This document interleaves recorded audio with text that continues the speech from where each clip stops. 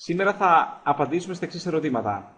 Πρώτον, ποιος είναι ο λόγος εξαιτίας του οποίου άνθρωποι που προσπαθήσαν στη δικτύωση δεν τα καταφέρανε; Δεύτερον, γιατί στην Ελλάδα δεν έχει δημιουργηθεί επιτυχία στη δικτύωση αντίστοιχη με άλλες χώρες; Και για κάτι που έρχεται μέσα στο Μάρτιο του 2015 που ανατρέπει τα δεδομένα και δίνει τη δυνατότητα σε ανθρώπους που δεν τα καταφέραν στο παρελθόν να πετύχουν, τους δίνει τη δυνατότητα να χτίσουν ομάδες εκατοντάδων ή χιλιάδων μέσα σε λίγους μήνες. Μέχρι το τέλος του webinar θα ξέρετε ακριβώς τι έρχεται και ακριβώς πώς εσείς, ακριβώς τι πρέπει να κάνετε, ούτως ώστε να καταφέρετε να χτίσετε μια τεράστια ομάδα με ό,τι, με ό,τι συνεπάγεται αυτό. Αυτό που θα προσπαθήσω να κάνω από όλοι είναι να δημιουργήσω μια καθαρή ματιά, να μπορέσουμε να δούμε το χώρο με καθαρή ματιά, να δούμε το τι φταίει με καθαρή ματιά και ούτω καθεξής. Λίγα λόγια για μένα και για το γιατί θεωρώ ότι έχω το δικαίωμα να προσπαθήσω να απαντήσω αυτά τα ερωτήματα. Όταν ήμουν μικρός, όχι τόσο μικρός, δεν είμαι εγώ αυτός, ε, ήμουνα γενικώς έτσι φιλόδοξος, ήθελα να καταφέρω πράγματα, παρόλο που η, η πορεία μου δεν, στα μέχρι τα 20-23 μου δεν μου δίνει τη δυνατότητα να πιστεύω ότι μπορώ να, γίνω, μπορώ να πετύχω κάτι σπουδαίο γιατί στο σχολείο ποτέ δεν ήμουνα, ήμουνα πάντα μέτρης ό,τι έκανα, από τα σπορ μέχρι τα μαθήματα. Ήμουνα πάντα μέτρης στα πάντα, παρόλα αυτά εγώ δεν έλεγα τον εαυτό μου έτσι. Εγώ θεωρούσα ότι, μπορώ, ότι είμαι ταγμένο για μεγάλα πράγματα. Ε, στα 19 μου, το 1998, είδα μια επιχειρηματική ιδέα και ερωτεύτηκα μια επιχειρηματική ιδέα. Αυτό που ξέρουμε όλοι τώρα σαν MLM, Network Marketing, δικτυακό marketing, δεν ήταν η, η σύγχρονη μορφή της δικτύωσης, ήταν από τις πιο παλιές εταιρείες, το 98 μιλάμε τώρα. Ε, ήταν μια εταιρεία με σαπούνια, καλλιτικά, έτσι, διάφορα τέτοια. Όπως είναι οι περισσότερες εταιρείες που υπήρχαν εκείνη την εποχή. Στη δικτύωση, κατά τη γνώμη μου, υπάρχουν πάρα, πάρα πολλοί άνθρωποι που έχουν προσπαθήσει πάρα, πάρα πολύ Υπάρχουν άνθρωποι που έχουν φτύσει αίμα, υπάρχουν άνθρωποι που έχουν προσπαθήσει περισσότερο στη δικτύωση από ότι σε οτιδήποτε άλλο στη ζωή τους. Εγώ ήμουν έτσι, γιατί μέχρι και σήμερα δεν μπορώ να βρω κάτι που να ζορίστηκα και να προσπάθησα περισσότερο από ό,τι είχε προσπαθήσει στο παραδοσιακό δικτυακό marketing και παρόλα αυτά δεν τα καταφέρνουμε για ποιο λόγο. Τώρα, το δικτυακό marketing στην Ελλάδα και το πρόβλημα συμβατότητας. Καταρχάς, το δικτυακό marketing δεν είναι παντού το ίδιο. Δηλαδή, αυτό που έχει γίνει στην Ελλάδα και σε χώρες σαν την Ελλάδα στην Αμερική δεν έχει γίνει. Δηλαδή στην Αμερική, ναι, υπάρχουν άνθρωποι που δεν τα καταφέρουν, υπάρχουν άνθρωποι που αποτυγχάνουν και το καθεξής, αλλά υπάρχουν και άνθρωποι, αρκετοί άνθρωποι, πολλοί άνθρωποι, που έχουν κερδίσει πάρα, πάρα πολλά χρήματα. Στην Ελλάδα, οι άνθρωποι που κερδίζουν έστω και full time εισόδημα είναι κάτω από ένα στους χίλιους. Τι είναι το πρόβλημα συμβατότητας και πώς συνήθως πηγαίνει η κουβέντα όταν συζητάμε με ένα, με ένα παραδοσιακό δικτυωτή ή τι έλεγα εγώ όταν έκανα αυτή την κουβέντα. Συμφων... Πάνω κάτω όλοι συμφωνούν, δηλαδή πρέπει να είναι πολύ καινούριος κάποιος για να μην καταλαβαίνει ότι στην Ελλάδα υπάρχει πρόβλημα. Και όχι μόνο στην Ελλάδα, σε χώρες σαν την Ελλάδα. Σε πάρα πολλές χώρες που μοιάζουν με την Ελλάδα, ότι δεν έχει γίνει το ίδιο πράγμα που έγινε στις χώρες που γεννήσανε, που δημιουργήσαν τη δικτύωση. Και η κουβέντα πηγαίνει ως εξής κάπως. Γιατί, ποιο είναι το πρόβλημα, γιατί δεν προχωράμε, δηλαδή γιατί μετά από 20 χρόνια έχουμε τόσο μικρή επιτυχία ενώ πιστεύαμε ότι θα έχουμε πολύ πολύ μεγαλύτερη; Γιατί δεν δημιουργήθηκαν εκατοντάδες χιλιάδες οικονομικοί ανεξάρτητοι που πιστεύαμε ότι θα δημιουργηθούν μετά από 5, 10, 20 χρόνια. Και η απάντηση είχε πηγαίνει στο ότι οι Έλληνες είναι διαφορετικοί. Οι Βούλγαροι λένε οι Βούλγαροι είναι διαφορετικοί και ούτω καθεξής. Είμαστε διαφορετικοί. Και η κουβέντα μετά στο είμαστε διαφορετικοί αρχίζει και πηγαίνει στο ότι είμαστε κλειστόμυαλοι. Μετά πηγαίνει η κουβέντα στο ότι είμαστε τεμπέληδε, δεν προσπαθούμε, δεν κάνουμε αυτό που μας λένε, δεν ακολουθούμε το σύστημα και ούτω καθεξής. Πάνω κάτω όλοι πρέπει να τα έχουμε ακούσει αυτά. Ουσιαστικά στην προσπάθειά μας να εξηγήσουμε στο γιατί η δικτύωση αποτυγχάνει, ουσιαστικά ταυτιζόμαστε τα θέλά μας. Όσοι υπερασπιζόμαστε το, το παραδοσιακό MLM, που εγώ το έκανα για πολλά χρόνια, ε, ουσιαστικά ταυτιζόμαστε με τις απόψεις των χειρότερων επικριτών της, της χώρας μας. Ανεξάρτητα από τις θεωρίες υπάρχουν κάποια δεδομένα. Τα δεδομένα είναι ότι τα προγράμματα που λειτουργούν στην Ελλάδα δεν έχουν φτιαχτεί για την Ελλάδα. Το κόστος εκκίνησης, η εγγραφή, δεν είναι φτιαγμένη για την Ελλάδα. Η κουλτούρα του συστήματος δεν είναι φτιαγμένη για την Ελλάδα. Το κόστος παραμονής, η συνδρομή, η μήνυμου παραγγελία που έχει οριστεί και ούτω καθεξής, δεν είναι φτιαγμένη για την Ελλάδα. Το προϊόν δεν είναι φτιαγμένο για την Ελλάδα, το ίδιο συμβαίνει και με τον τρόπο πρόθεσης. Γιατί; Γιατί αυτοί που φτιάξαν αυτά τα προγράμματα είχαν στο μυαλό τους την Αμερική, τη Γερμανία και το καθεξής. Εξάγαν το μοντέλο τους, εξάγαν την ευκαιρία τους. Α πούμε, ας πάρουμε για παράδειγμα την Αμερική. Η Αμερική έχει βασικό μισθό τρει-τέσσερι φορές μεγαλύτερο από την Ελλάδα. Το να ζητάς, ας πούμε, κόστος εγγραφής στην Αμερική 300 δολάρια είναι ένα πάρα πολύ λογικό ποσό. Εδώ πέρα 300 δολάρια είναι πάνω από το μισό μισθό του άλλου. Άλλος πρέπει να δουλεύει δύο-τρεις μέρες. Το ίδιο πράγμα ισχύει με τη, με τη συνδρομή. Για τα προϊόντα, η διαφορά είναι εξής. Α πούμε, οι, Αμε, οι Αμερικάνοι και οι Γερμανοί εκτιμούν την έννοια της συμπίκνωση. Θέλουν αυτό που αγοράζουν να συμπυκνωμένο. Να εξοικονομούν χώρο στο σπίτι τους, να κάνουν καλό στο περιβάλλον και το καθεξής.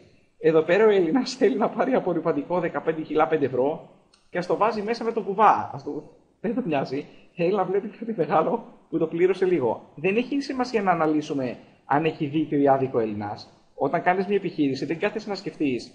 Όταν κάνεις μια επιχείρηση και όταν θες να πας καλά, σκέφτεσαι τι θέλει ο καταναλωτής. Δεν σκέφτεσαι τι θα έπρεπε να θέλει ο καταναλωτής ή τι θα ήταν σωστό εκ μέρους του να θέλει και άρα αυτό θα πάμε να το πουλήσουμε. Πάμε να δώσουμε στον καταναλωτή αυτό που, αυτό που θέλει. Αυτό που σα λέω τώρα ισχύει σε όλες τις επιχειρήσεις. Όλες τις επιχειρήσεις το ξέρουμε. Αν μια εταιρεία που φτιάχνει οδοντόπαστες φτιάξει μια καινούργια οδοντόπαστα με γεύση κυκλάμινο και τη βάλουν στα ράπια του σούπερ μάρκετ και κανείς δεν πάει να αγοράσει αυτή την οδοντόπαστα με το κυκλάμινο, αν φέρουν το διευθυντή που είχε την ιδέα να βγάλουν αυτή την οδοντόπαστα και του λένε γιατί δεν πάει καλά η οδοντόπαστα, αν αυτός πει, Ε, ο κόσμος είναι ηλίθιος, δεν αναγνωρίζει την υπέροχη γεύση του κυκλάμινου, αυτός ο άνθρωπος θα απολυθεί με συνοπτικές διαδικασίες και όλοι μαζί θα συμφωνήσουμε ότι, είναι, ότι έχει πρόβλημα, ότι κάτι δεν πάει καλά με τον τρόπο που σκέφτεται. Μόνο στη δικτύωση ένα προϊόν, είτε αυτό είναι το προϊόν αυτό καθ' αυτό, είτε είναι το, το σύστημα, το μοντέλο, δεν προχωράει και καθόμαστε και κατηγορούμε τον καταναλωτή. Αν είχαμε να διαλέξουμε από την αρχή, αν σκεφτόμασταν από την αρχή, αν το δικτυακό marketing δεν το είχαμε γνωρίσει μέσα από μια εταιρεία, θα νιώθουμε πιο άνετα οι περισσότεροι να διακινούμε ένα προϊόν ή μια υπηρεσία. Θα θέλαμε να διακινούμε κάτι που το κουβαλάς, που στο φέρνει ο courier, που έχει έξοδα μεταφοράς, που η τιμή του επιβαρύνεται με έξοδα μεταφοράς, που αν κατασκευάζεται στο εξωτερικό η τιμή του μπορεί να ανέβει 30, 40, 50% επειδή έρχεται στη χώρα μας. Θα θέλαμε αυτό ή θα θέλαμε μια υπηρεσία; Κάτι που μπορεί να αγοραστεί από τον υπολογιστή, για παράδειγμα. Θα θέλαμε κάτι υλικό ή κάτι άλλο. Προφανώς θα θέλαμε κάτι άλλο. Τα άλλα προϊόντα έχουν άπειρα πλεονεκτήματα σε σχέση με τα χειροπιαστά προϊόντα. Δεύτερο ερώτημα. Θα θέλαμε να διακινούμε κάτι που θέλουν λίγοι ή κάτι που θέλουν όλοι; Μην θεωρείτε χαζές ερωτήσεις, σας είπα ότι είναι αυτονόητες τις απαντήσεις. Προφανώς θα θέλαμε κάτι που θέλουν όλοι. Δεν θα θέλαμε κάτι που θέλουν λίγοι. Δεν θα θέλαμε κάτι που δεν θέλει σχεδόν κανένας και πρέπει να τον κυνηγάμε από πίσω για να το αγοράσει. Να τον πείσουμε πόσο κακό είναι αυτό που έχει για να πάρει κάτι άλλο. Προφανώς θα θέλαμε κάτι που έχει ευρεία αποδοχή. Α μην σκέφτεσαι τώρα αν αυτά υπάρχουν ή δεν υπάρχουν. Α συμφωνήσουμε σε αυτά, σε, σε αυτά τα 7 βασικά πράγματα και όλα καλά θα πάνε μετά. Τρίτο, θέλουμε να έχουμε γεωγραφικούς περιορισμούς ή θέλουμε να έχουμε εισόδημα από όλο τον κόσμο; Θέλουμε, το, θέλουμε να υπάρχει η εταιρεία Ελλάδας, Βουλγαρίας, ξέρω εγώ και ε, Ρουμανίας, Αμερικής και να ανοίγει σε κάθε χώρα σιγά σιγά. Θέλουμε να περιμένουμε να ανοίξει μια χώρα ένα, δύο, τρία, πέντε, δέκα χρόνια.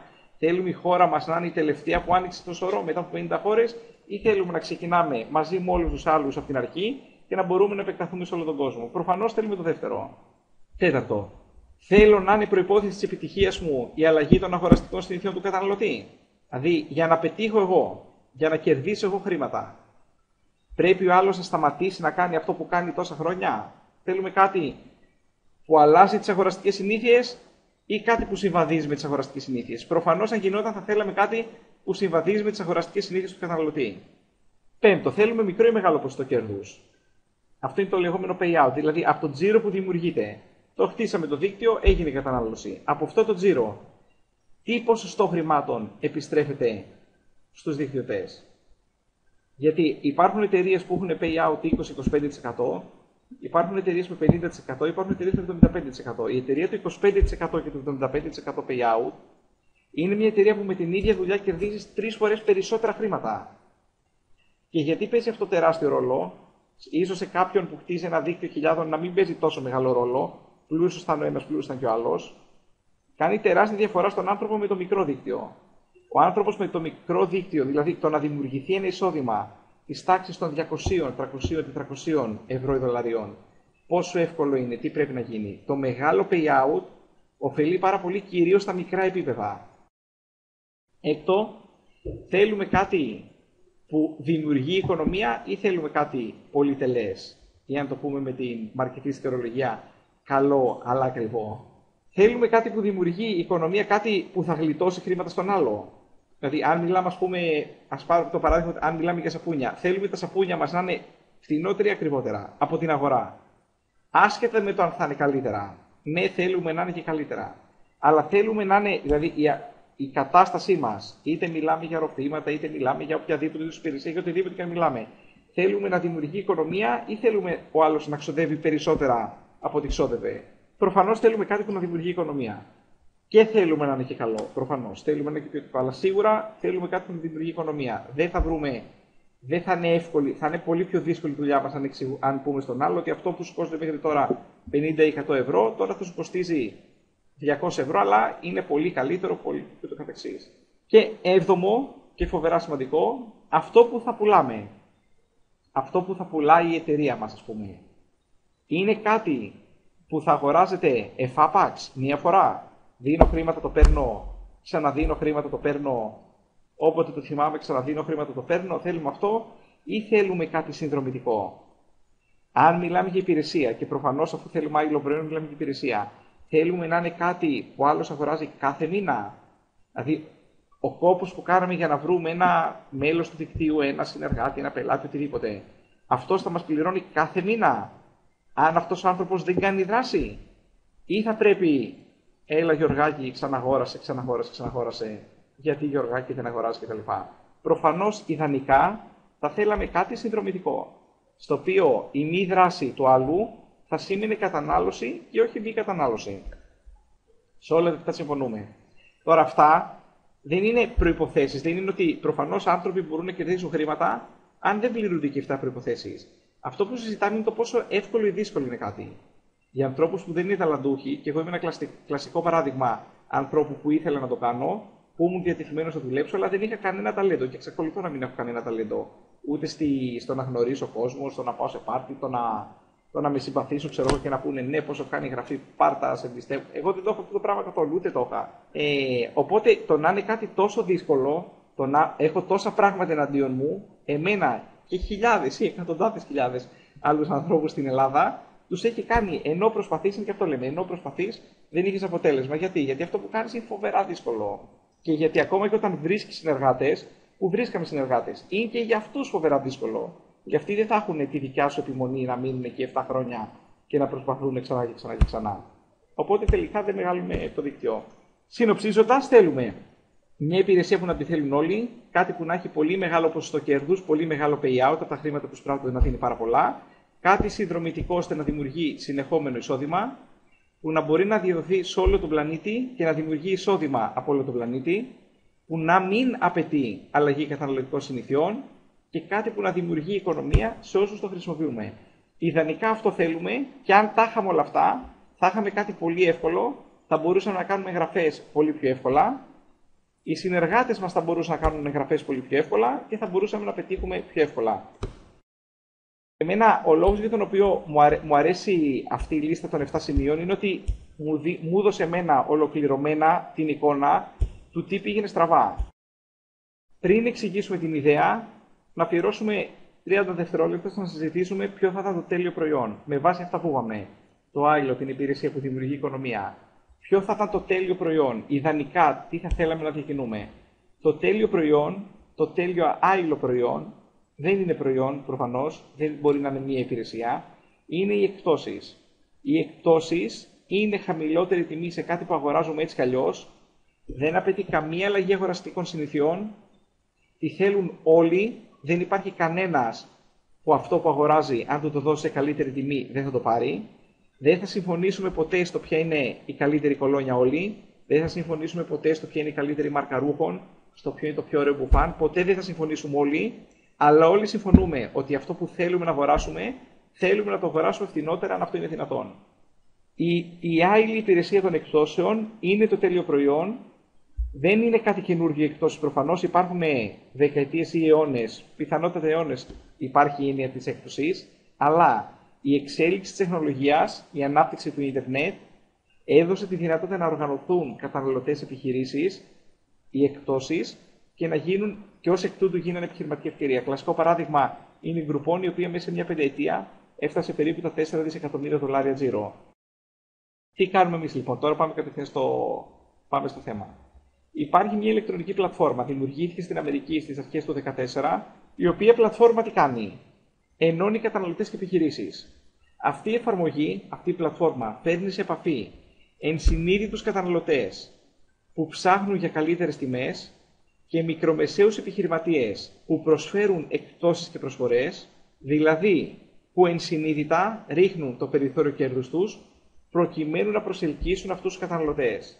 Η τεράστια διαφορά αυτού που συζητάμε με οποιαδήποτε άλλα εκπτωτικά site που υπάρχουν είναι ότι η συγκεκριμένη πλατφόρμα λειτουργεί με τέτοιο τρόπο ούτως ώστε να χτίζεται μακροχρόνια σχέση εμπιστοσύνης ανάμεσα σε καταναλωτές και μικρομεσαίες επιχειρήσεις.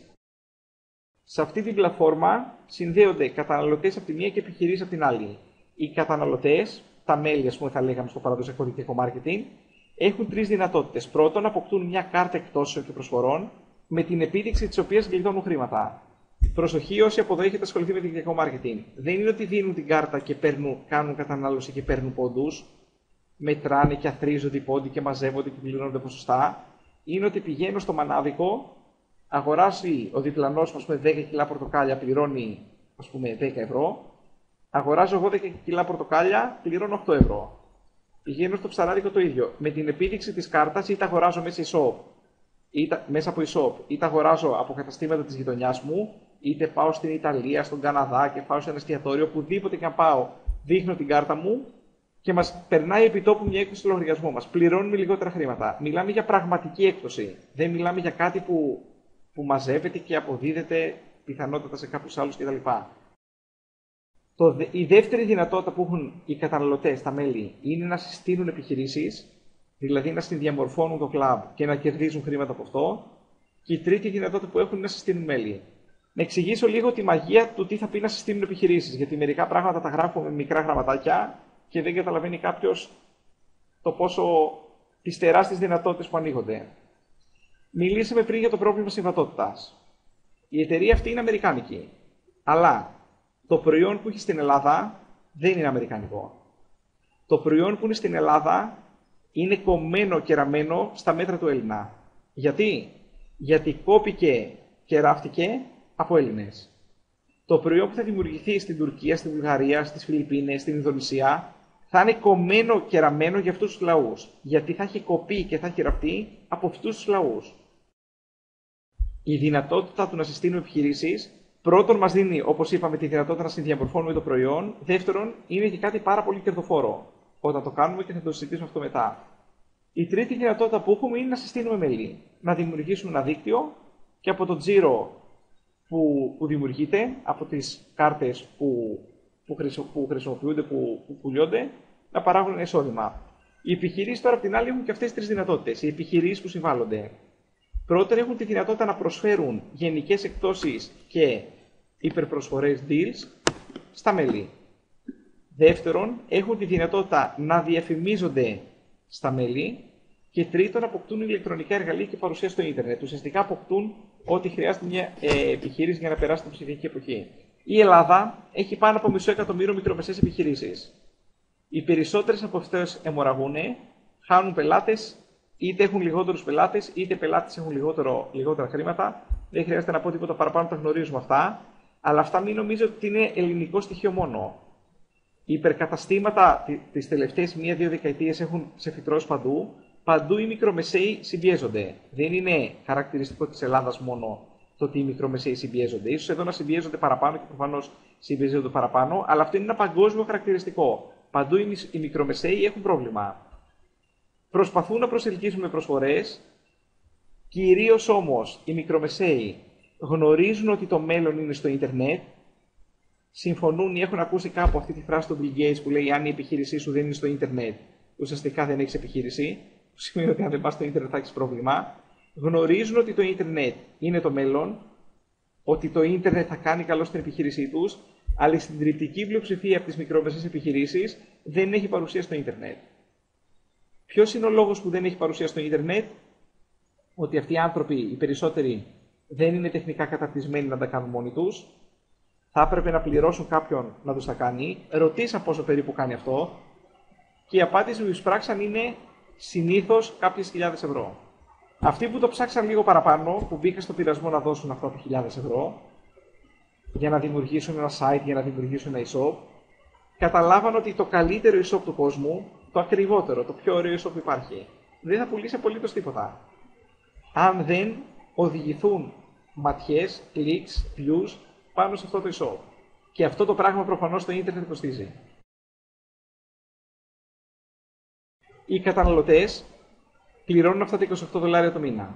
Αν κάνουμε ένα τυπικό παράδειγμα, στο οποίο για καταναλωτικές ανάγκες κάποιος ξοδεύει ας πούμε 500 ευρώ το μήνα και αν υποθέσουμε ότι υπάρχει ένας μέσος όρος εκτός της τάξης του 20% που, που κάπως έτσι είναι, τότε κάποιος με 20% έκπτωση εξοικονομεί 100 ευρώ το μήνα.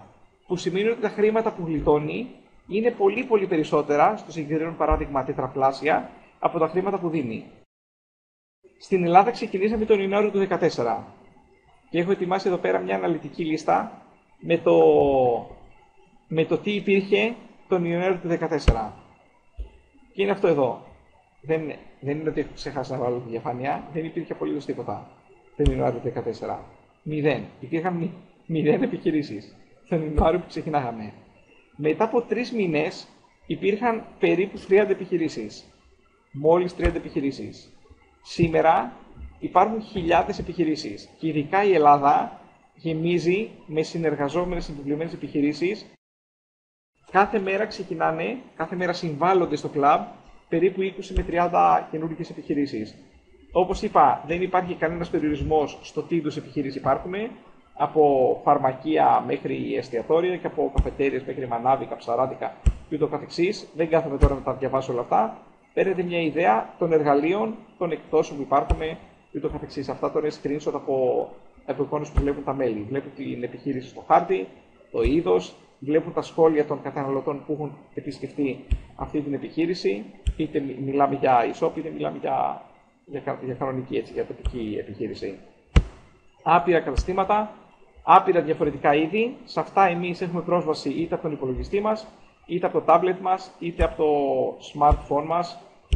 Μπορούμε να δούμε τις εκτόσεις, να δούμε όταν ταξιδεύουμε, να δούμε στη, μέσα από το κινητό μας σε ακτίνα 2 χιλιόμετρων, 5 χιλιόμετρων, αν έχει κάποιο συνδεδεμένο εστιατόριο για να μας κάσει το λάστιχο, αν υπάρχει κάποιο συνδεδεμένο που πολλά ελάστιχα ή το καθεξής. Πάρα, πάρα πολλές επιχειρήσεις.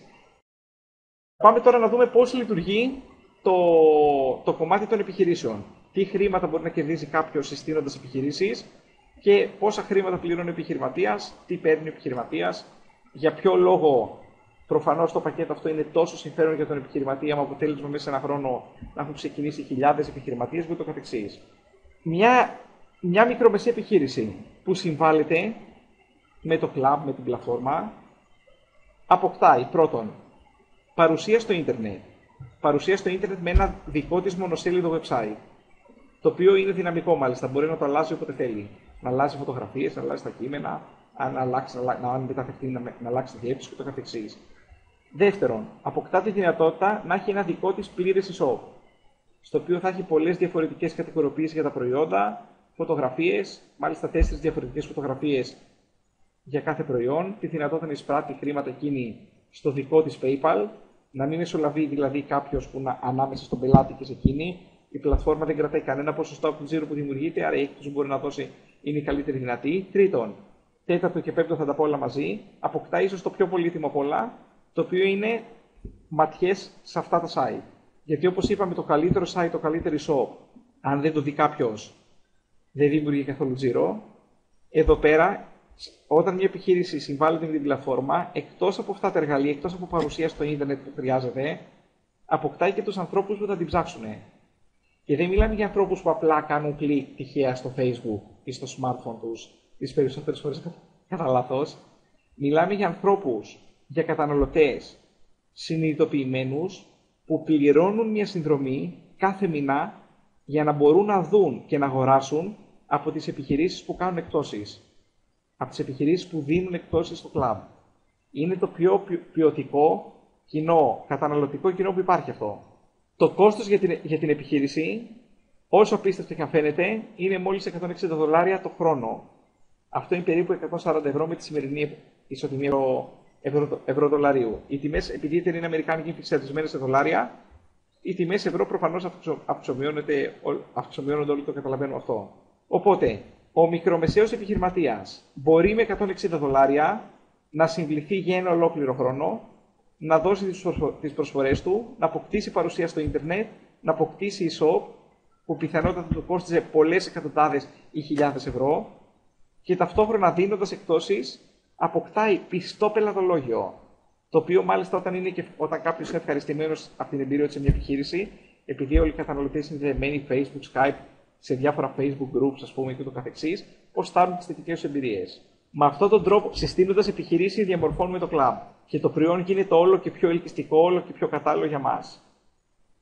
Αλλά κερδίζουμε και χρήματα, είπαμε. Από τα 160 δολάρια που δίνει μια επιχείρηση, τι ποσό είναι λογικό να κρατήσει η εταιρεία και τι ποσό είναι λογικό να κρατήσουμε εμείς. Το ποσό που κρατάμε εμείς είναι 130 από τα 160 δολάρια. Από αυτά τα 160 δολάρια που δίνει η επιχείρηση, στην πλατφόρμα πηγαίνουν τα 30, στην τσέπη μας πηγαίνουν τα 130 δολάρια. Δεν υπάρχει κανένας περιορισμός στο πόσες επιχειρήσεις πρέπει να βάλει κάποιος. Αν υπάρχει μήνυμο απόδοσης, αν υπάρχει κάποια άποψη που πρέπει να φέρει. Στέλνεις ένα link, παρεμπιπτόντω σε οποιοδήποτε χώρα και περιοχή του κόσμου. Δεν μιλάμε τώρα μόνο για την Ελλάδα, δεν μιλάμε για τους ανθρώπους στον οποίο τα μαγαζιά μπορούν να πάμε τα πόδια μας. Προωθούμε ένα link. Αν θέλει κάποιος το κάνει offline ή το κάνει online, στη Βραζιλία.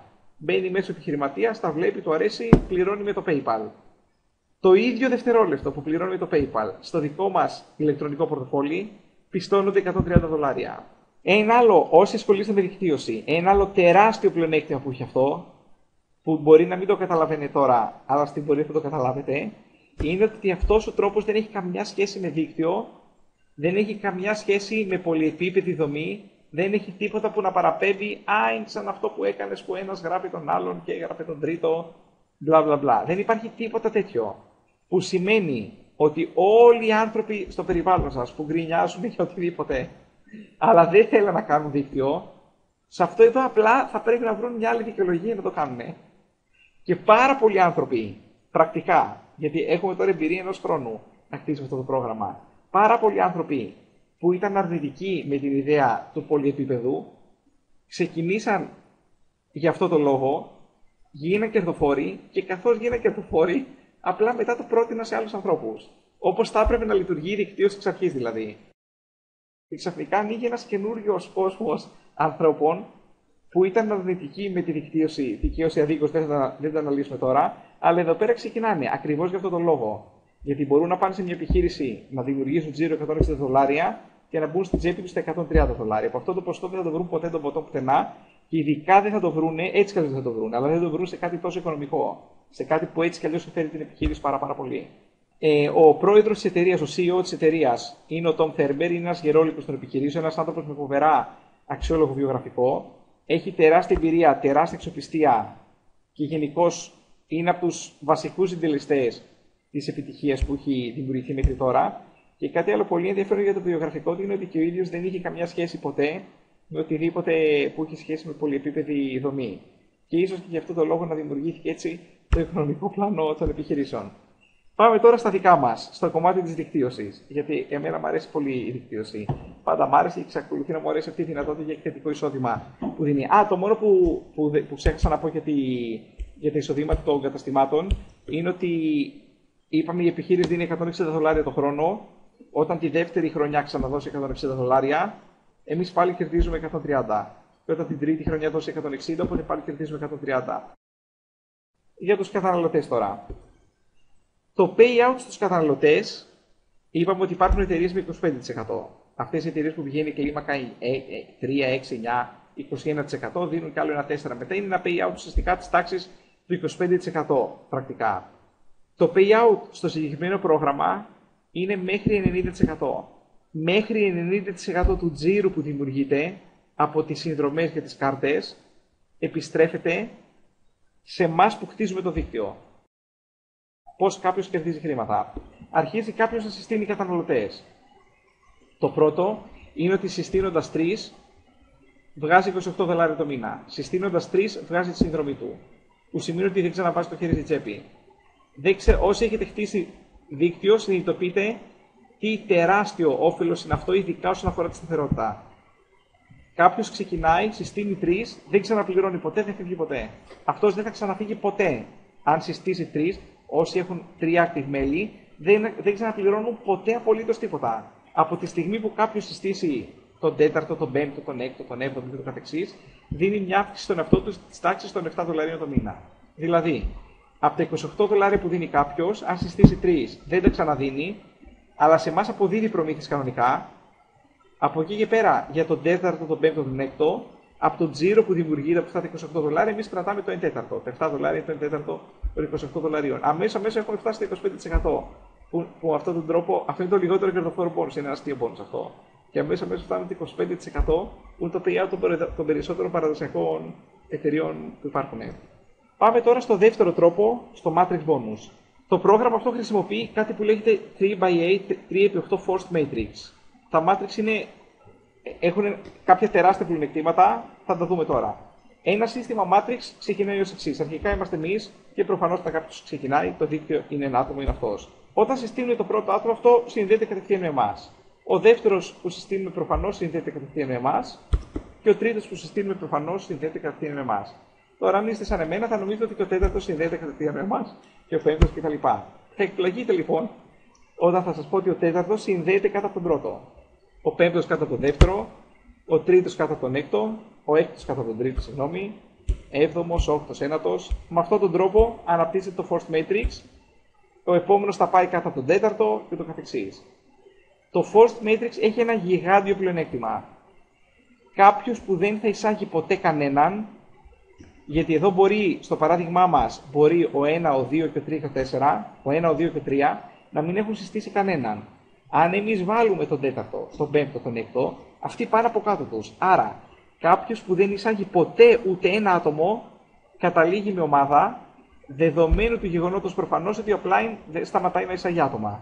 Δεδομένου του γεγονότος ότι είμαστε σε μια ομάδα που αναπτύσσεται, γιατί αν δεν βάλει κανείς άτομο, προφανώς δεν θα αποκτήσει ποτέ κανένας άτομα. Είναι αυτονόητο αυτό, μην λέμε τα αυτονόητα. Γιατί τώρα έχει αξία αυτό; Γιατί έχει αξία το ότι κάποιος που δεν εισάγει ούτε ένα άτομο καταλήγει ομάδα; Γιατί είναι σημαντικό αυτό; Γιατί στο Matrix πληρωνόμαστε για τα άτομα που έχουμε από κάτω μας χωρίς προποθέσει, δηλαδή ακόμα και αν δεν έχουμε βάλει άτομο, μέχρι κάποιο βάθος. Οπότε, το Matrix Bonus δεν κοιτάει ποιος σύστησε ποιον, το Matrix Bonus κοιτάει ότι αυτός έχει από κάτω το 100 άτομα. Δεν κοιτάει αν έβαλε αυτός τους 100 ή αν τους έβαλε ή αν πέσαν από τον από πάνω. Αυτό ονομάζεται spillover παρεπτόντω. Το Matrix Bonus το δικό μας πλάνο λέει. Αν έχει ξεκινήσει με το τρίμηνο πακέτο, δηλαδή αν έχεις προχωράσει τρεις μήνες, οι περισσότερες εκδοτικές κάρτες είναι με το χρόνο. Όταν εγώ λέω 28 δολάρια το μήνα, δεν είναι υποχρεωτικό, αν και προτιμητέο, κάποιος να δώσει κατευθείαν 28 επί 12 που είναι 336 δολάρια, περίπου 300 ευρώ. Δεν είναι υποχρεωτικό αυτό. Κάποιος μπορεί να ξεκινήσει και με τρίμηνο, που είναι περίπου 75 ευρώ. Αυτός που ξεκινήσει με το τρίμηνο πληρώνεται χωρίς καμία προπόθεση μέχρι το έκτο επίπεδο. Το έκτο επίπεδο έχει 1092 δολάρια, που σημαίνει ότι αν ιδανικά αυτό γεμίσει, θα έχει ένα passive εισόδημα 1092 δολάρια, ακόμα και αν δεν έχει στήσει ούτε ένα άτομο. Χωρίς καμία προπόθεση ισοσκελισμού, παραγωγής κ.ο.κ. Τώρα, θα μου πείτε ότι φαίνεται πολύ καλό για έναν αληθινό. Φαίνεται πολύ καλό το να κερδίσει κάποιος χίλια δολάρια το μήνα, χωρίς να κάνει απολύτως τίποτα, απλά και μόνο επειδή πήρε ένα τρίμηνο, πήρε μια τρίμηνη εκδοτική κάρτα, την οποία έτσι καλώ θα γλιτώνει χρήματα. Και θα σας πω, ναι, έχετε απόλυτο δίκιο, όντως είναι πολύ καλό για ένα αληθινό. Άμα περιμένει ότι κάποιος θα σας βάλει τρεις, θα βάλουν τρεις, θα βάλουν τρεις, και εσείς θα βγάζετε χίλια δολάρια το μήνα, αυτό δεν θα γίνει, προφανώς. Ή μάλλον για να είμαι ακριβής, είναι απίθανο να γίνει. Οι πιθανότητες του να γίνει είναι φοβερά μικρές. Ο τρόπος με τον οποίο λειτουργεί το Matrix ειδικά όταν μια ομάδα αναπτύσσεται, είναι ότι τα δύναμα άτομα βοηθούνται. Τι θα πει βοηθούνται τα δύναμα άτομα; Βάζει κάποιος upline 4, 5, 6, βλέπει από κάτω μια κίνηση. Βλέπει ένα άτομο από κάτω του, δύο άτομα από κάτω του, πέντε άτομα από κάτω του. Δεν είναι ότι έλυσε το οικονομικό του πρόβλημα, αλλά βλέπει ότι το σύστημα δουλεύει. Και παίρνει και αυτός κουράγιο και συνεχίζει. Αυτό είναι το τεράστιο πλεονέκτημα του Matrix. Υπάρχουν κάποιοι άνθρωποι που βγάζουν εκατοντάδες δολάρια από spillover, ναι, υπάρχουν. Υπάρχουν αρκετοί άνθρωποι, επειδή είχαμε πολύ μεγάλη ανάπτυξη στην Ελλάδα, υπάρχουν αρκετοί άνθρωποι που βγάζουν πολλά χρήματα από spillover. Spillover είναι τα άτομα που πέσαν από πάνω. Αρκετά χρήματα, πολλά χρήματα με αυτόν τον τρόπο. Αλλά στατιστικά είναι πάρα πολύ λίγοι. Οπότε θέλω να ξεκαθαρίσω ότι δεν λέω κάτι τέτοιο. Δεν λέω πάρω το τρίμηνο και μάλλον θα βγάζεις 1000 δολάρια το μηνό και καταδιάνει. Οι πιθανότητες είναι φοβερά, φοβερά μικρές. Αλλά η πιθανότητα του να πάρετε κάποια άτομα ή κυρίως του οι δικοί σας άνθρωποι να πάρουν άτομα και να πάρουν τα πάνω τους και να αυξηθεί η παραγωγικότητά τους, που είναι και ο στόχος και ο λόγος για τον οποίο σχεδιαστεί έτσι, είναι πολύ μεγάλες. Αν κάποιος παρόλα αυτά ξεκινήσει με το ετήσιο, τότε πληρώνεται και στο 7ο επίπεδο και εκεί το ταβάνι εισοδήματος είναι τα 3.279 δολάρια. Είναι πάρα από 3.000 δολάρια οι θέσεις που υπάρχουν. Ιδανικά πάλι να γεμίσει μέχρι εκεί, χωρίς καμιά προπόθεση για κάποιον που έχει πάρει το ετήσιο, ακόμη και κανένα να μην γράψει. Όσο πίστευε και αν φαίνεται, το Matrix Bonus είναι επίσης από τα λιγότερα κερδοφόρα bonus.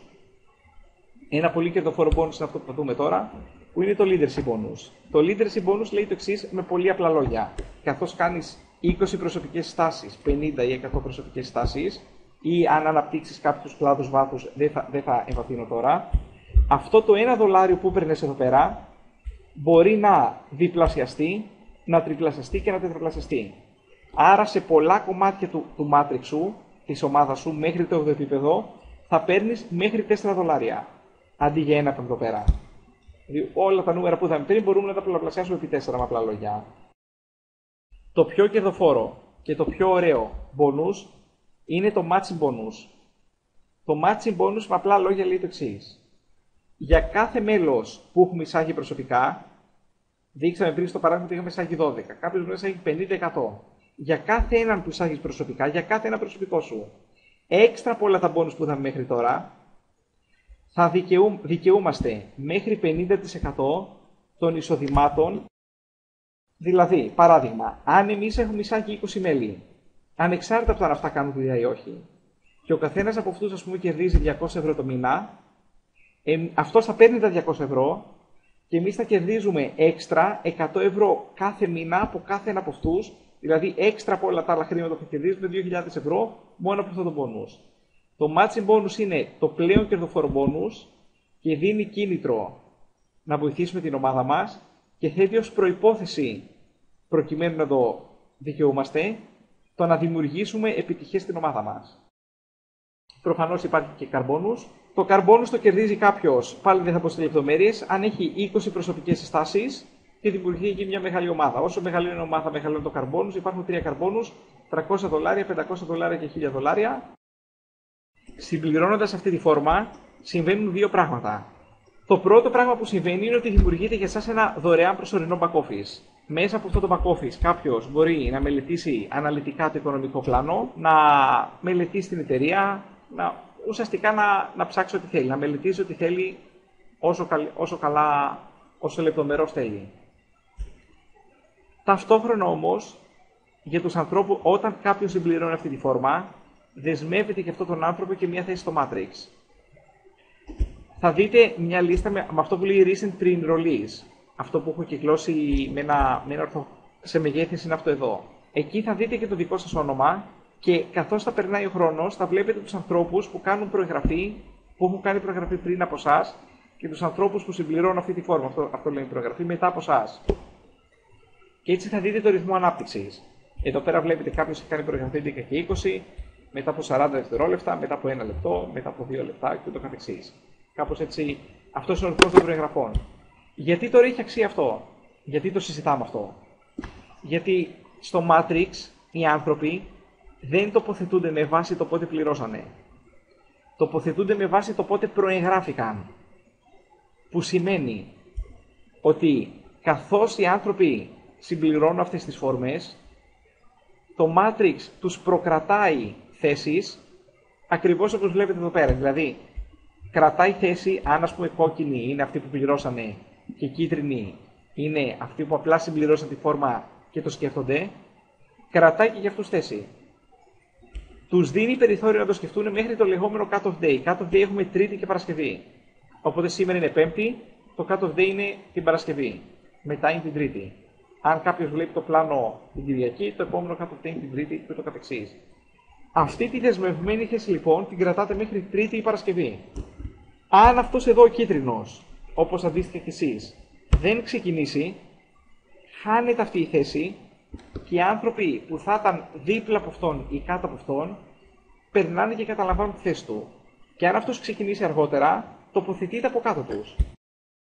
Πρακτικά, για να το κάνω απλώς στο μυαλό για να μην κάθετε να διαβάζετε όλα τα ψηλά γράμματα, αυτός που έχει τις full προμήθειες, ο σίγουρος επαγγελματίας συνεργάτης, είναι ο ετήσιος. Ο δοκιμαστικός συνεργάτης που το σκέφτεται είναι ο τριμηνίο. Ο μηνίο είναι ο καταναλωτής, αυτός που κερδίζει έχοντας όφελος από τις εκτόσει. Ο μηνίο μπορεί να αναβαθμίσει και ο τριμηνίος μπορεί να αναβαθμίσει επίσης. Κάποιοι που θα ξεκινήσουν μηνύοι θα αναβαθμίσουν, κάποιοι που θα ξεκινήσουν τριμηνύοι θα αναβαθμίσουν. Αποφασίζετε εσείς τι, τι από τα τρία θέλετε, θέλετε να κάνετε. Σε όποιο και, από τα, και από τα τρία, αν κάνετε κλικ, αν κάνετε κλικ στο Join Now που φαίνεται στην οθόνη, εμφανίζεται αυτή εδώ η φόρμα, βάζετε όνομα, επίθετο, email, τηλέφωνο, username, password, τα επιλέγετε αυτό για εσάς.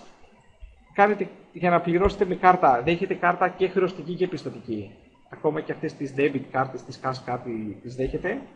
Οπότε κάνετε κλικ εκεί πέρα, ανοίγει η φόρμα, συμπληρώνετε τα στοιχεία της κάρτας σας, κλικάρετε, κλικάρετε τα δύο τετραγωνάκια από κάτω και προχωράτε, προχωράτε κανονικά. Με το που κάνετε κλικ μετά δημιουργείτε κατευθείαν στο back office σας, δηλώνετε τη διεύθυνσή σας, κάνετε download την εφαρμογή.